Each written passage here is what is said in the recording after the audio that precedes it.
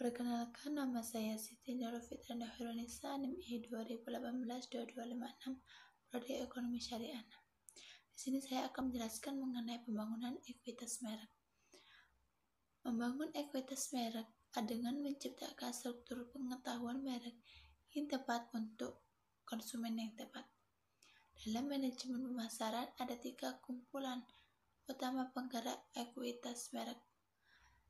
Yang pertama yaitu pilihan awal untuk elemen atau identitas yang membentuk merek. Sebenarnya nama merek, logo, kemasan, dan papan iklan. Yang kedua itu produk dan jasa. Kalau kita sudah mempunyai produk dengan merek yang sangat bagus dan cocok banget untuk dipasarkan, kita harus kerjasama dengan orang lain untuk pemasaran yang lebih cepat.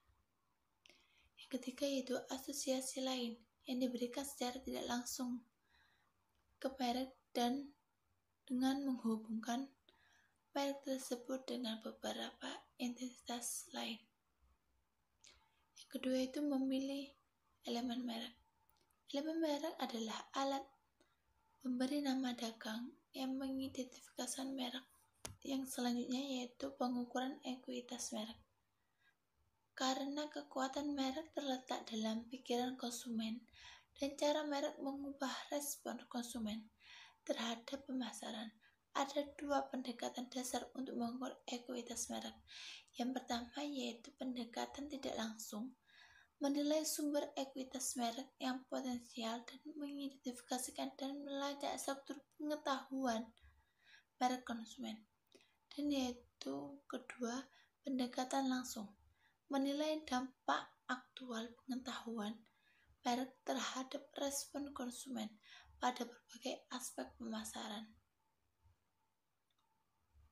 Kedua pendekatan umum ini saling melengkapi dan pemasar dapat menerapkan keduanya. Jadi kalau kita mengenal barang itu kita bisa melihat langsung barang tersebut. Dan yang kedua yaitu kita bisa menilai barang tersebut dari konsumen-konsumen yang sebelumnya. Kita merek. Pengolahan merek yang efektif membutuhkan tindakan pemasaran jangka panjang karena Respon pelanggan terhadap aktivitas pemasaran tergantung pada apa yang mereka ketahui tentang sebuah merek. Tindakan pemasaran jangka pendek dengan mengubah pengetahuan, mensukseskan merek, serta mengetahui mengetahui pengaruh peningkatan atau penurunan kesuksesan jangka panjang, tidak pemasaran di masa depan. Jadi kita itu kalau sudah mempunyai suatu produk dan mempunyai merek tertentu, kita harus mengolah lagi pengekuitas merek tersebut agar pemasaran produk tersebut berjangka panjang. Kalau bisnis itu semakin tahun, semakin ke depan, semakin kualitasnya itu bagus dan dikenali oleh banyak masyarakat.